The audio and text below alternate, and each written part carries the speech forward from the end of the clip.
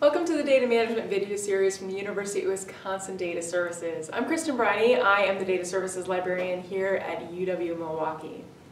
In this video, we're going to look a little bit at version control. And version control is something maybe not a lot of researchers are familiar with, but can really help you keep track of changes that you're making to documents over time. So a key example of this is if you're writing paper with some collaborators and you're sending different versions back and forth, you'll need a good way to keep track of what the latest version is, or if you want to go back to an earlier version, you need to know kind of which version in the progression of this document editing you're working on, or you did work on. So a version control system can really help you keep track of that information. So another example is if you're working on research code or protocols. Protocols are a great example because people change protocols all the time. And you need a way to reference which protocol you're using to differentiate between different versions of the same protocol and perhaps even revert to an earlier version of a protocol if you decided that one actually was better for what you're trying to do. So a version control system will give you that full history, will able, allow you to go back and forth between different versions of the same protocol and reference in your notes exactly which version you're using. All this is really useful and all this will help you manage your data better.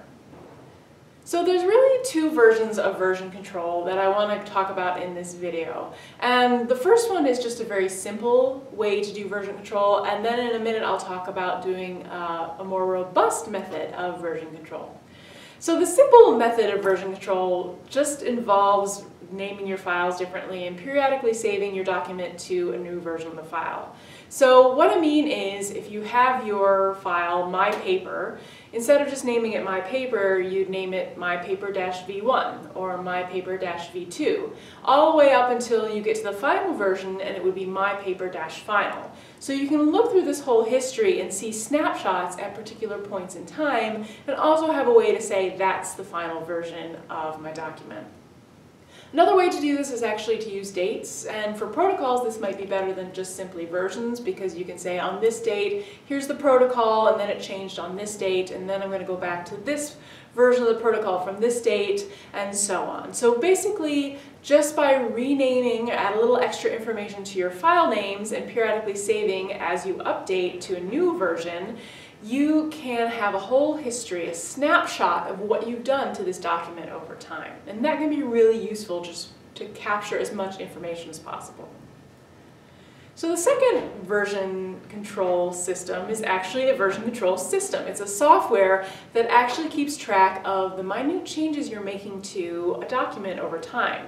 So while file naming kind of gives you an overall snapshot, a version control system actually details I made this change on line one and I changed it from A to B. So a version control system is much more robust and it gives you a lot more control over keeping track of those versions. Uh, but it is a little bit harder to kind of get started in use. And this is uh, something actually version control systems came out of computer science. So they're really useful for things like code. Uh, but they've extended so you can actually use version control systems for writing a paper Either way, you're going to want a version control system for uh, when you need more detail in your version control, when you want to capture those small differences, when you have multiple people working on something and you want to capture who added what, uh, when you basically want a way to automate some of these things, look for a version control system. So one of the most popular version control systems out there right now is Git, G-I-T, and you often see Git partnered with GitHub.